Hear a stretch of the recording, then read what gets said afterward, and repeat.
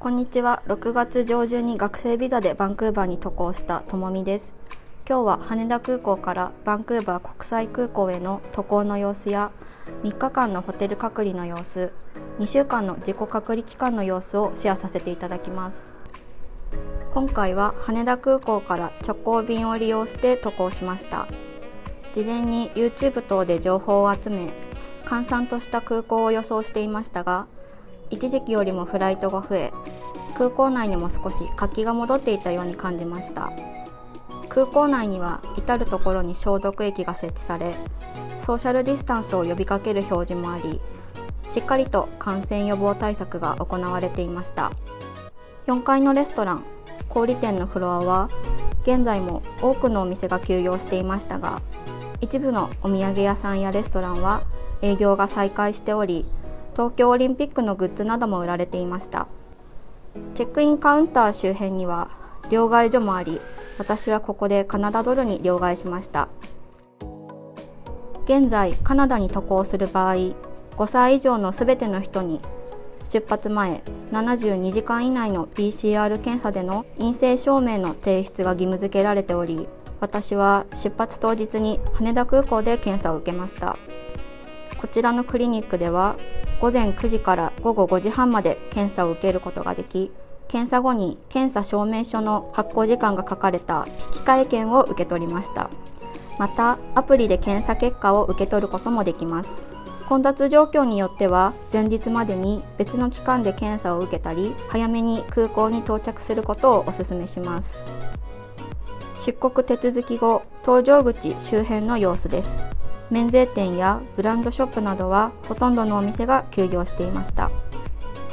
いよいよ搭乗時間になりました。私が利用した便には日本人だけでなく他の国からの乗り継ぎでバンクーバーに向かう方も複数いましたが全体的に乗客は少なく3列シートを1人でゆったりと使うことができました。機内ではアルコールシートが配られました。着陸後は少し機内で待機して指示に従って入国審査場まで移動します。入国審査では隔離先はどこかホテルとホームステイ先の住所ワクチン接種はしたか学校はどこか入学許可証は持っているかなどの質問を受けました。荷物をピックアップし移民局でビザを発行してもらいました。その後到着後の検査を受けるために検査場に移動します。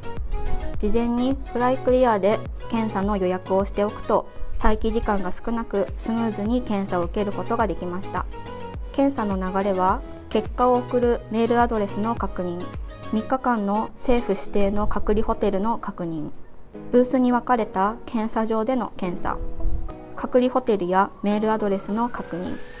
8日目の検査キットの受け取り。隔離ホテルを伝えチャトルバスまたはタクシーの乗り場の案内を受けるでした。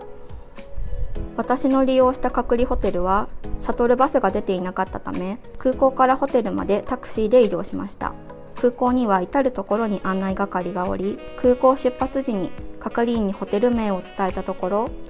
ホテルまでの乗車料金や降車時にレシートを受け取りチェックインの際に返金を依頼するよう案内がありました。タクシーで約20分ほどでダウンタウンにある隔離ホテルに到着しました。ここで次の隔離先に移動するまでの3日間過ごしました。私が利用したホテルの部屋にはコーヒーメーカーなども設置されていました。3日間の滞在費は983ドル1000ドル弱でした。3日間の滞在中は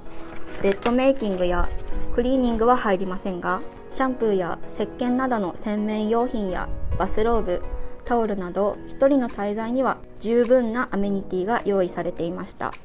部屋に用意されていたホテルからのレターにはホテルでの過ごし方や食事が運ばれてくる時間なども記載されていました。食事はホテルのスタッフの方が部屋の外まで運んでくれるスタイルでドアの外に食事を置いた際にノックをして知らせてくれました。距離を取りながらの受け取りでしたが軽く挨拶することもでき隔離中の憂鬱な気持ちも少し楽になりました。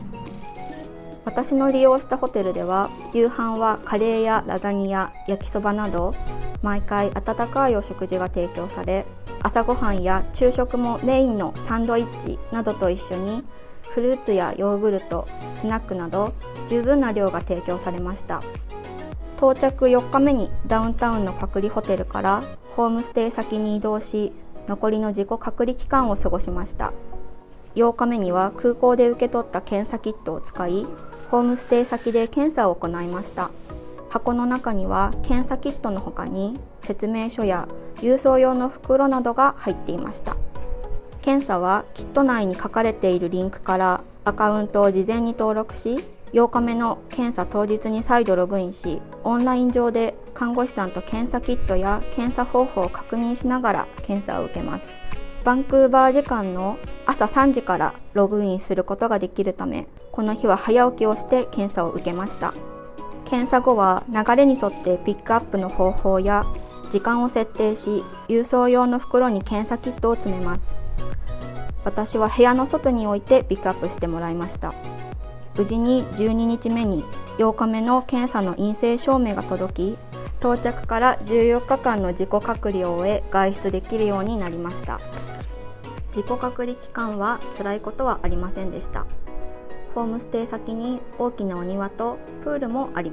日光浴をしたり本を読んだりリラックスをすることができ良かったです。バンクーバーはワクチン接種が急速に進み入国規制も緩和されてきているためこれからもっと多くの方が渡航し一緒に留学生活を楽しめることを願っています。